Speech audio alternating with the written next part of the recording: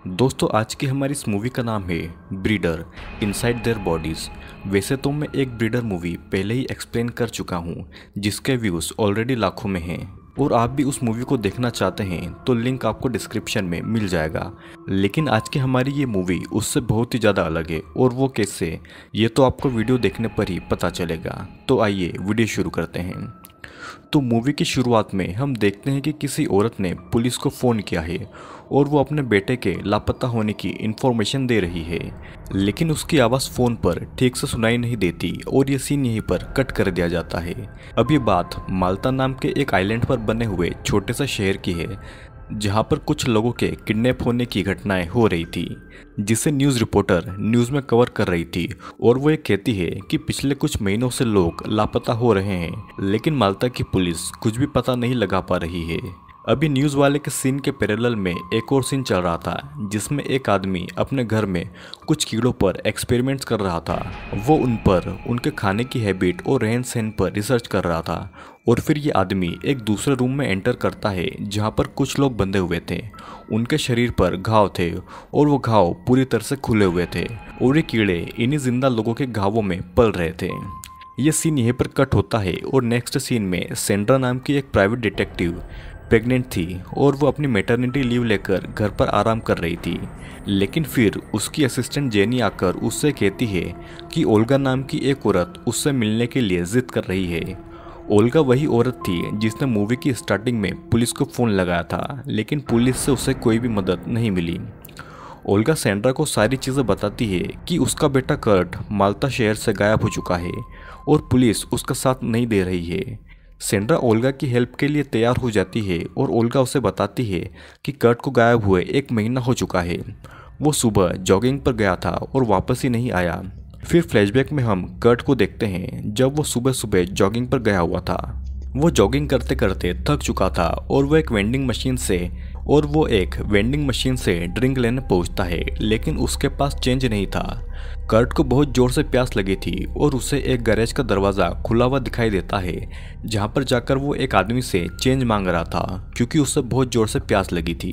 वो आदमी कर्ट को कहता है कि वो वेंडिंग मशीन बंद है, लेकिन वो अगर चाहे तो उसके लिए कुछ ड्रिंक ला सकता है। जिसके बाद में कर्ट उस आदमी के गैरेज में एंटर होता है और फिर वो आदमी कर्ट के लिए ड्रिंक रेडी करता है। लेकिन वो आदमी उस ड्रिंक में कोल्ड ड्रिंक के साथ साथ कुछ और भी डाल रहा था, जिसे पीने के बाद में कर्ट को कुछ अजीब फील होता है और उससे खून की उल्टियाँ होना चालू हो जाती है और फिर देखते ही देखते उसकी आँख, नाक और सब दूर से खून बहने लगा था। कर्ट की हालत बहुत ख़राब हो गई थी और फिर वो आदमी उसे अंदर लाकर उल्टा लेटा देता है और फिर उसके पीछे एक इंजेक्शन से कुछ लिक्विड को इंजेक्ट कर देता है।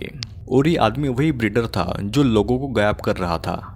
फिर नेक्स्ट सीन में हम देखते हैं कि दो शिकारी अपने घर के आसपास ही शिकार कर रहे हैं। इनके नाम थे केनेथ और मार्कोस। मार्कोस शिकार की तलाश में आगे जा रहा था, जहाँ पर उसे रास्ते में एक छोटी लड़की मिलती है। और तभी पीछे से ब्रीडर आकर मार्कोस की ही गन से उसके पैर में शूट करके उसे अपने साथ में ले जाता है। मतलब कि शिकारी ही अब शिकार हो गया था। यहाँ पर सेंड्रा कर्ट के केस को सॉल्व करने के लिए रिसर्च कर रही थी कि कर्ट से पहले यहाँ कितने लोग गायब हुए हैं। उसे पता लगता है कि गायब होने वालों में ज़्यादातर लोग टूरिस्ट थे, जो माल्टा घूमने के लिए आए हुए थे। कुछ की बॉडीज़ कभी नहीं मिली और जिनकी बॉडीज़ मिली थी, उनके शरीर पर बड़े बड़े घाव थे, जिनमें कीड़े पाए गए थे। और जाँच में पता चलता है कि ये कीड़े उसकी बॉडी में पहले डाले गए थे, जबकि ये कीड़े किसी जीव या इंसानों के मरने के बाद में पड़ते हैं। जेनी को इन कीड़ों के बारे में पता था, और कीड़ों की स्टडीज़ को एंटेमोलॉजी कहते हैं। जेनी सेंड्रा को कहती है कि मांस में पलने वाले कीड़ों को नेक्रोफेगस लार्वा कहा जाता है, जो कि मक्खियों के लार्वा होते हैं। लेकिन लोगों की बॉडीज में मिलने वाले ये लार्वा किसी और कीड़े के थे। जेनी ये कहती है कि ये लार्वा इंसान की बॉडी में जल्दी बढ़ते हैं और ये भी हो सकता है कि कोई व्यक्ति जानबूझकर इन लार्वा की ब्रीडिंग करवा रहा हो, क्योंकि ये लार्वा बहुत सारे पेट्स का खाना बनाने के काम में आते हैं और इंटरनेशनल मार्केट में इनकी कीमत बहुत ज़्यादा है। लेकिन कोई व्यक्ति सिर्फ़ इन लार्वा को बेचने के लिए क्यों किसी इंसान की जान लेगा? जेनी को बस ये शक था कि ऐसा भी हो सकता है, लेकिन सेंड्रा उसका मज़ाक उड़ाती है और वो इस केस को ज़्यादा सीरियसली नहीं ले रही थी। जिससे कि जेनी खुद ही इन्वेस्टिगेशन करने निकल जाती है। जेनी को लगता है कि अगर उसके कीड़े वाली थ्योरी सही है तो ज़रूर किसी पेट शॉप वाले के यहाँ पर वो कीड़ों का ब्रीडर गया होगा उन कीड़ों को बेचने के लिए। फिर ये सीन कट होता है और शिफ्ट होकर ब्रीडर के यहाँ पर आता है, जहाँ पर ब्रीडर की बेटी अपनी डॉल से खेल रही थी और उसके पिता, यानी कि ब्रीडर लोगों के शरीर में कीड़ों की ब्रीडिंग करवा रहा था। और जिस आदमी के पेट में कीड़ों की ब्रीडिंग हो रही थी, उसका नाम था कर्ट ब्रीडर के जाने के बाद में उसकी बेटी कर्ट के पास में आकर उसके मुँह पर पॉलीबैग को लपेट देती है और फिर वो उसके चेहरे पर चाकू से मार मार कर कर्ट का खेल खत्म कर देती है और इन कीड़ों को उठाकर देखती है, जो कि बहुत ही ज़्यादा डिस्टर्बिंग सीन था। इधर शिकारी मार्कोस को होश आता है तो वह देखता है कि वो एक रूम में कैद है, जहाँ पर एक और आदमी मौजूद है। ब्रीडर आकर मार्कोस को एक गिलास में कोई ड्रिंक पिलाकर जाता है, जिसके बाद में मार्कोस को अपने सिर में बहुत दर्द महसूस हो रहा था। ये सीन यहीं पर कट होता है और हम ये देखते हैं कि एक टूरिस्ट कपल माल्टा आइलैंड पर घूमने आए हैं और जंगल में एंजॉय कर रहे हैं।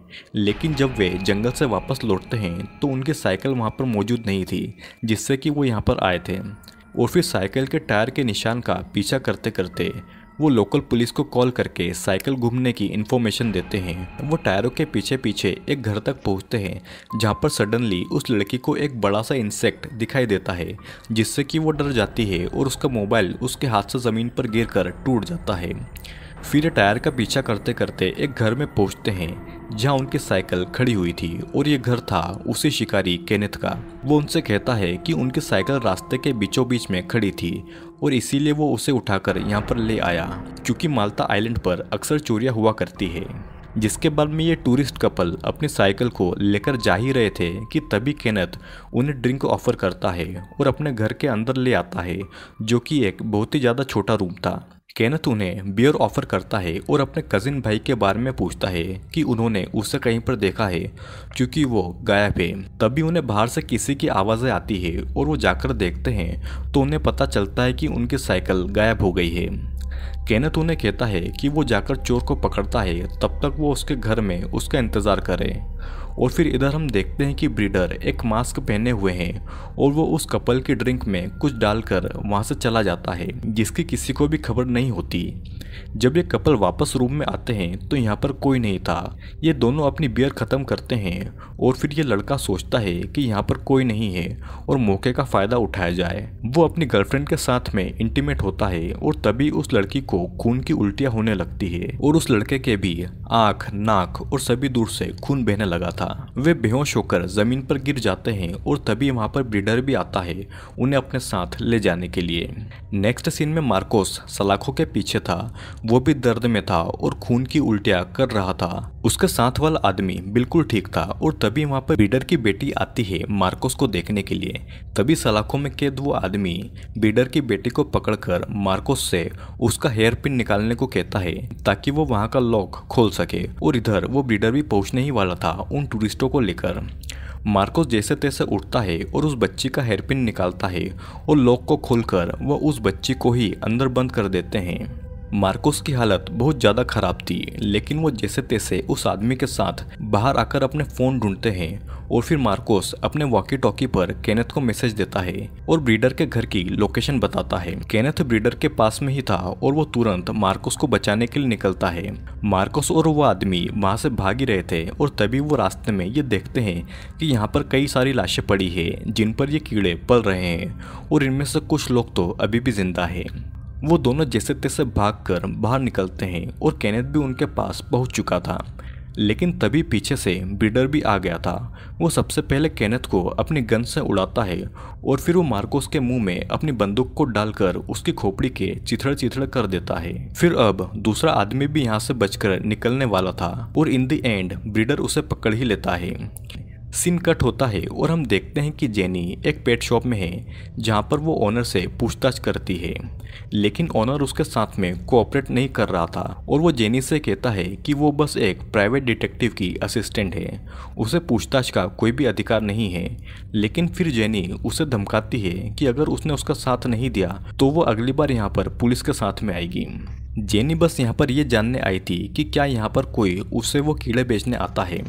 शॉप ओनर उस ब्रीडर से कीड़े ज़रूर खरीदता था, लेकिन वो उसका नाम नहीं बताना चाहता था। लेकिन जेनी उसकी शॉप की सीसीटीवी फुटेज देखने के लिए उसे मना लेती है।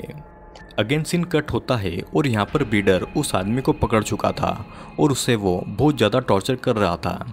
दरअसल ये आदमी पुलिस वाला था और जानबूझकर यहाँ पर आया था और ब्रीडर ये जानना चाहता था कि वो यहाँ पर क्यों आया है। इस आदमी के मोबाइल पर सेंड्रा का कॉल आता है, जिसके बाद में ब्रीडर इसे पानी में डुबो डुबो कर मार डालता है। नेक्स्ट सीन में हम देखते हैं कि ओल्गा सेंड्रा के घर पर आई है, क्योंकि उसके बच्चे की अभी तक कोई खबर नहीं है। ओल्गा को ये लगता है कि सेंड्रा बस टाइम वेस्ट कर रही है इन्वेस्टिगेशन के नाम पर, जिस पर सेंड्रा गुस्सा हो जाती है और दोनों में लड़ाई होती है। ओल्गा सेंड्रा को बुरा भला कहती है और ये भी कहती है कि क्यों उसे उसका पति छोड़कर चला गया। और तभी जेनी आकर सब कुछ संभालती है और बताती है कि वो इन्वेस्टिगेशन कर रही है। जिस पुलिस वाले को ब्रीडर ने किडनैप किया था, वो पर सेंड्रा का हस्बैंड था और वो भी ब्रीडर की जाँच पड़ताल करते समय उसके चंगुल में आ गया। और तभी अचानक होता यह है कि सेंड्रा ओल्गा को वोडका पिलाती है, जिसमें जेर था, जिससे कि ओल्गा वहीं पर मर जाती है। और फिर सेंड्रा, जेनी को भी बोतल से उसके सिर पर मारकर उसे घायल कर देती है। फिर सीन कट होता है और ये ब्रीडर उस पेट शॉप के ओनर को भी उठा लेता है, क्योंकि उसने जेनी की मदद की थी। जेनी को जब होश आता है तो वे देखती है कि वो ब्रीडर के यहाँ पर कैद है और उसके साथ में वो पेट ऑनर भी है, जिसके बाद में ब्रीडर शॉप ऑनर के पास में आता है और उसे उठाकर ले जाता है उसके ऊपर ब्रीडिंग करवाने के लिए। और फिर हम देखते हैं कि पीछे से सेंडर आती है, जिसे देखकर सभी शौक हो जाते हैं और फिर यहाँ पर एक बहुत ही ज़्यादा गहरा राज खुलता है। सेंड्रा और ब्रीडर का अफेयर चल रहा था और उसके हस्बैंड को इसके बारे में पता लग गया था और इसीलिए वो उससे छोड़कर चला गया। और जो बच्चा सेंड्रा के पेट में था, वो ब्रीडर का ही था, जिसके बाद में सेंड्रा शॉप ओनर के पास में आती है और उसकी गर्दन में चाकू घुसाकर उसे मार डालती है। और फिर वो उसे काटते काटते ब्रीडर से कहती है कि वो न जाने कब से उसे बचाती हुई आ रही है, लेकिन ब्रीडर बस अपने फ़ायदे के लिए लोगों को मारे जा रहा था। सेंड्रा और ब्रीडर अपनी बातों में लगे हुए थे और हम देखते हैं कि यहाँ पर ब्रीडर की बेटी जेनी को आज़ाद कर देती है, क्योंकि ब्रीडर सेंड्रा को भी वो इंजेक्शन लगाने आ रहा था, जिनमें इन कीड़ों के लार्वा होते थे।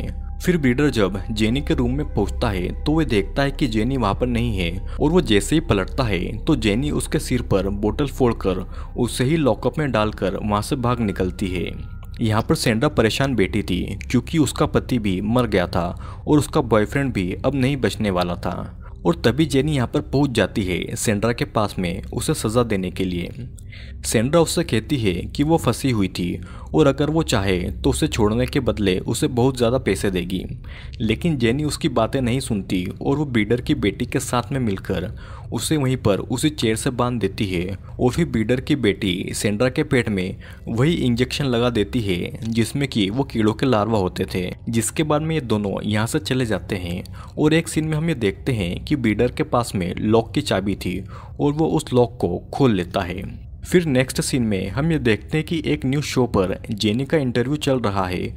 वो बताती है कि ब्रीडर ने अपनी बच्ची को ही किडनैप कर रखा था और वो अब चाइल्ड केयर में है। उन लोगों को ब्रीडर के गैरेज से कई सारे लाशें मिली, लेकिन वो ब्रीडर और सेंड्रा दोनों को नहीं खोज पाए। मूवी के लास्ट वाले सीन में हम ये देखते हैं कि ब्रीडर सेंड्रा के साथ जेनी वाली न्यूज़ को देख रहा है। और वो बस कुछ लोगों को काट भी रहा है, जिसके साथ में ये मूवी यहीं पर एंड हो जाती है। तो दोस्तों, ये मूवी एक ऐसे ब्रीडर पर है, जो कुछ कीड़ों की ब्रीडिंग करता है इंसानों के ऊपर। वो लोगों को किडनैप करके पहले उन्हें एक ड्रिंक पिलाता है, जिसमें वो कीड़ों के लार्वा होते हैं, और वो उनके दिमाग और अंदर के पार्ट्स को खाकर बड़े होते हैं। लेकिन ब्रीडर की बेटी को ये सब अच्छा नहीं लगता, और वो जेनी के साथ में ब्रीडर को रोकने की कोशिश करती है। मूवी के एंड वाले सीन में दिखाया गया है कि ब्रीडर और सेंड्रा दोनों बच जाते हैं, क्योंकि उनके पास में उन कीड़ों से बचने के लिए एंटीडोट था। लेकिन उस ब्रीडर ने अभी भी कीड़ों की ब्रीडिंग करने वाला वो काम नहीं छोड़ा था। तो दोस्तों, आज के वीडियो में सिर्फ़ इतना ही। वीडियो पसंद आया हो तो लाइक करें, कमेंट करें और अगर आप चैनल पर नए हैं तो चैनल को सब्सक्राइब ज़रूर से करें। और अब हम मिलेंगे एक नए वीडियो के साथ में।